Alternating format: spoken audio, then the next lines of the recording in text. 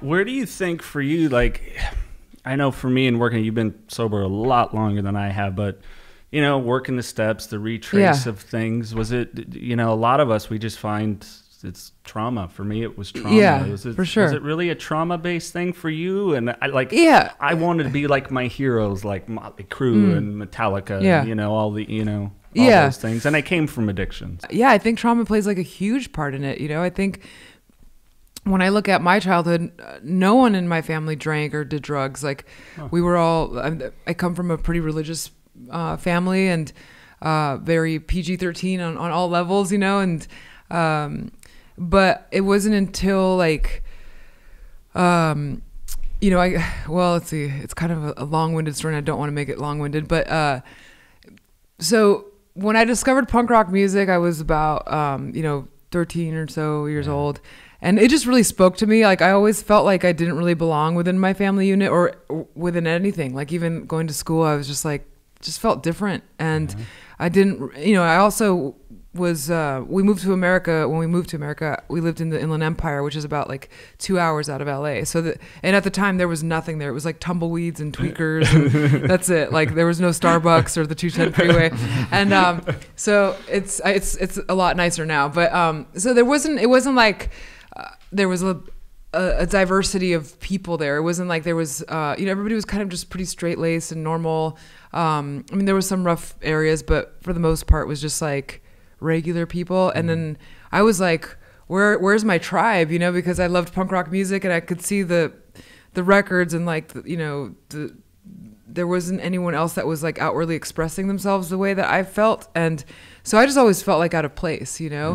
And then, um, I remember I ended up shaving my head, and my parents just like lost their minds. How old were you then? I was 14. And Well, there's nothing more punk rock than doing that one. or Mohawk. I yeah, guess. yeah. and I was, you know, and I was tattooing all my friends by then, and so I think my parents were just like terrified, and rightfully so. You know, they come from a different culture, and they, um, like, like many people, like most people back then, they really associated tattooing with like a, a criminal lifestyle or like um, prostitution or whatever, you know, and so uh, there wasn't any tattoo shows at the time to make it popular.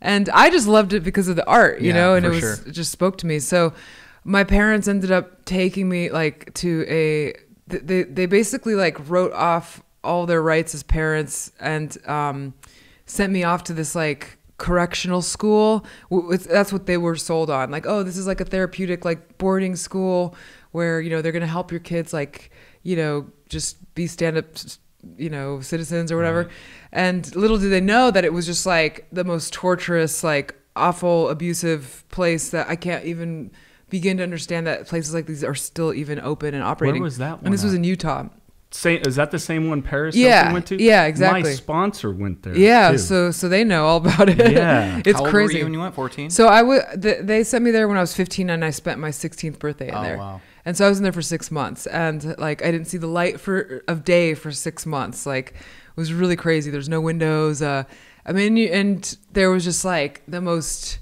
um, cruel and abusive forms of discipline, I guess you would call it. That just was uh, pr- pretty traumatizing, you know.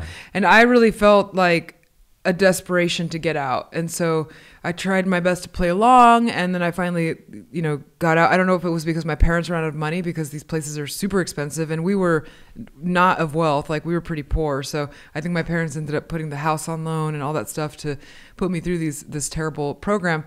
And when I got out, I think I just had so much trauma that like um, you know, for 6 months I wasn't allowed to use the restroom without being supervised. There was no doors on uh, on any restrooms. So like you just have like this sense of privacy just eliminated. And I just remember like once I got out, I was like, I really needed to use the restroom, and I was just holding it until it hurt because I was like scared. Like, what if I close the door and then they send me back? You know. And that was around the time where I really started drinking. And like, I didn't realize that I was trying to self soothe and try to cope. Um, I just felt like I wanted to escape this reality. And I wasn't drinking for fun. You know, I think some alcoholics get into it because they're, they're like going out partying with their friends. It's fun. And then it gets out of control. For me, it was just like, I need to escape. And so I was buying disgusting bottles of like like you know alcohol that I had Thunderbird or Mad Yeah. Dog 2020. Totally, yeah, yeah, Boone's Farm, whatever it was. um, no, I think I was I was getting whiskey, but um, but and then I got caught like uh, at, at the the boarding school that I was sent to afterwards, and uh, and so they kicked me out, and my dad picked me up and uh, took me home, and I think my parents just did the best that they could, you know, with what they knew. I mean, you got to uh, understand that back then there wasn't any internet. I think AOL just barely was launched. Hmm. So it wasn't like you could research, "Oh, let's see a Yelp review on this," you know, because if you if you check out the Yelp reviews now, it's just like horror story after horror story. And so it's like my parents were just like they were told by somebody this is a great place. Like look at the brochure, there's all these smiling children, and it's like, oh, little do they know it's like nothing like that. So, so I don't hold like a lot of people when they when that the story broke about that place, um, people were just like, how could you forgive your parents? And it's like, well, I think as a parent myself now, like. I know that I'm just constantly just trying my best, and there's and I and I've accepted that I'm gonna fuck up, you know, and that's part of becoming a parent, you know, and uh, um, for me, it's more just like more important to look at like the things that um, didn't work for me as a child, like. You know, I basically took notes from my parents of what not to do. You know, 'cause I, I want to break that chain. Like most people, like in trauma, it's like they tend to like repeat it, which is weird. You know, like when you look at like domestic violence, like if if your mom was beaten up in front of you, you have a, a much higher chance of um, choosing a partner that will be abusive to you, which I think is crazy because you you know you would think that it would be the opposite. So, but maybe we find some familiarity in that. I don't know. Um, I think I think so because the brain it's just how it works and how we identify things. You know, you think like smell and sound and you know those things trigger Yeah. memories. Like if I smell chocolate chip cookies, I think of childhood. Yeah, Or, yeah. You know, I hear you know and Yeah. justice for all. It's hanging out with my older Yeah, brother. You know, totally? So yeah. I, I think it's I think so. I think it's like okay, this this is what I know as normal. Yeah. But uh, to me, that's a little bit of like unconscious living too, though. You know, because like I want to be conscious in the des- the decisions I make. Like, do I does does this actually make me feel good, or am I doing this because it's what I'm used to? You know, it's like I want to become a better person, especially now. I think like having a kid. I know it sounds like cliche and stuff, but like that's like so much more important to me than anything that has ever been important to me. You know, it's like I want my kid to have like a fair chance at like, you know, a good life, you know. Not trying to avoid him having you know, any suffering because I think suffering builds character as well, but like th- I definitely think I, I went through unnecessary amount of suffering, and, Sure. and that that I think can cause issues and baggage and all that stuff. And and of course, I went to therapy for years after I got out, and um, it took a, a while to you know kind of get a grip on things again. And and what's weird is that when Paris Hilton released that documentary. Um, you know, she had reached out and said, "Hey, I heard you were you were also at that Provo school. Would you speak on this?" And I was like, "Yeah, you know, uh, I've actually never talked about it. I never told my parents all the, the stuff that happened in there." and uh and all these people kind of came out of the woodwork that I was in there with and it was it's really sad. There's some some girls that um are having a much harder time. Like I don't think about those days anymore because I processed them and moved forward.